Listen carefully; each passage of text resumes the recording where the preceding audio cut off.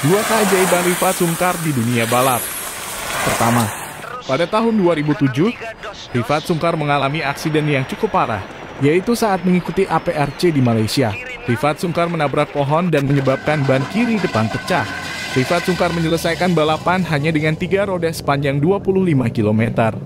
Kedua, di ajang Asia Cross Country Rally 2022, Rifat Sungkar mengalami masalah serupa, yaitu pecah ban pada mobil balapnya dan dipaksa jalan ke garis finish sepanjang 20 km.